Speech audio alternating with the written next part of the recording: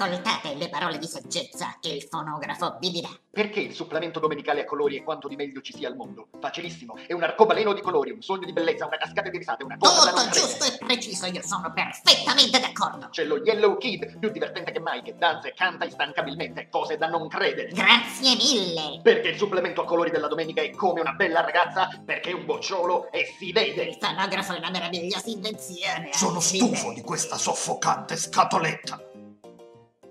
Yellow Kid spesso è ricordato come il capostipite del fumetto. Qualcuno lo identifica con il primo personaggio a fumetti in generale. In realtà non è esattamente così. Yellow Kid non fu neppure il primo personaggio a parlare per mezzo delle nuvolette. Questo lo avevano già fatto molti protofumettisti inglesi.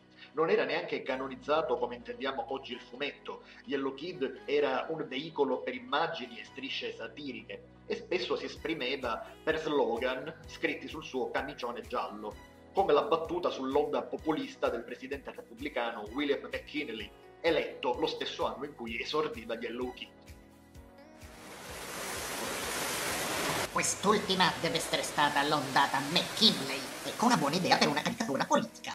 Alla fine dell'Ottocento, nell'ambito di questa nuova forma espressiva, l'America era rimasta indietro rispetto all'Europa. La spinta in avanti per la nascita del fumetto americano, stranamente, non arrivò tanto dagli autori quanto dagli editori. Alla fine del XIX secolo iniziavano a uscire riviste domenicali. Prima non si usava in osservanza della festa. Fu Joseph Pulitzer ad avere l'intuizione che un supplemento domenicale potesse conquistare nuovi lettori per il suo giornale, il World. Che cosa fece Pulitzer? Aumentò l'uso del colore e cominciò a dare spazio a quelli che in Europa si erano iniziati a chiamare cartoons. Ed è sul suo giornale che nasce Yellow Kid di Richard Felton Outcolt nel 1896. A credere ancora di più nel potenziale dei cartoons non fu però Pulitzer, ma un'azienda concorrente, quella gestita da William Randolph Hearst, che pubblicava il Morning Journal. Hearst era un vero pescecane che da un lato riuscì a comprarsi tutto lo staff del concorrente Ward, ma che seppe anche creare sinergie con gli autori, portando il fumetto a una forma molto vicina a quella che intendiamo oggi come fumetto moderno.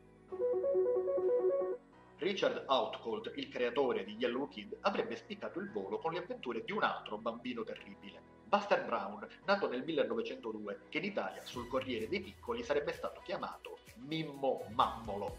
Buster Brown si presentava come il tipico ragazzino della borghesia d'inizio secolo, capelli a paggetto, vestitino impeccabile. Come compagno di avventure aveva un cane di nome Tiggy, cane parlante dotato di espressioni facciali umane.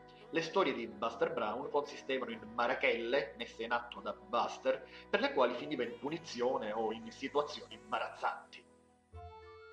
Perché dipingi di bianco i petardi? Sto preparando le candele da mettere nella torta del compleanno del pupo. Sembrano proprio candele vere. In cima ci ho messo un poco di cera. Sono proprio orgogliosa di questa torta. Ma non ci sono le candele. Caro, ti spiacerebbe fare un salto a comprarmi due candele? Eccole. Grazie, caro. Ecco che arriva la torta. Caratteristica delle storie di Buster Brown era la morale conclusiva, una vera e propria pagina di diario, come se il personaggio prendesse appunti per ricordare l'insegnamento ricevuto, praticamente il commento finale dell'autore. Avrebbero dovuto essere degli inviti ai bambini a mettere il giudizio, ma a volte venivano fuori cose abbastanza forti, soprattutto se pensiamo che stiamo parlando di un fumetto dei primi del Novecento. Non è patriottismo sparare petardi o pistolettate, dare fuoco alle case, gonfiare gli occhi degli altri e picchiarli sulla testa. Questa è la solita passione americana per la confusione, per la malvagità gratuita e per il chiasso. Rumore e disordine non hanno a che fare con il patriottismo più di quanto abbia a che fare Dio con la teologia o la giustizia con la legge. In un altro episodio, la mamma di Buster riceve la visita di un'amica, un'altra signora, che si porta dietro la figlioletta, una bambina che ha la stessa età di Buster. I due bambini, giocando, fanno qualcosa di assolutamente innocente. Si scambiano i vestiti e si truccano per assomigliare l'uno all'altra. Quando le mamme li vedono, li sculacciano tutti e due, mentre i bambini piangono tenendosi per mano. botte a due bambini solo perché si sono scambiati i vestiti per gioco. Che cosa dice la morale finale? Chiama in causa il filosofo Herbert Spencer e il politico William Drummond, tutti e due inglesi. Herbert Spencer dice la vita consiste nell'adattarsi a ciò che ci circonda. William Drummond dice la felicità è la perfetta armonia con le proprie attitudini. Dico io. Quando penso di fare un botto è la mamma che prende a botte me. Ma non importa, voglio essere felice seguendo le mie attitudini. Qualcosa da ridire? Erano gli inizi del XX secolo e il fumetto si stava assestando a metà strada tra l'intrattenimento satirico per gli adulti e il divertimento per bambini.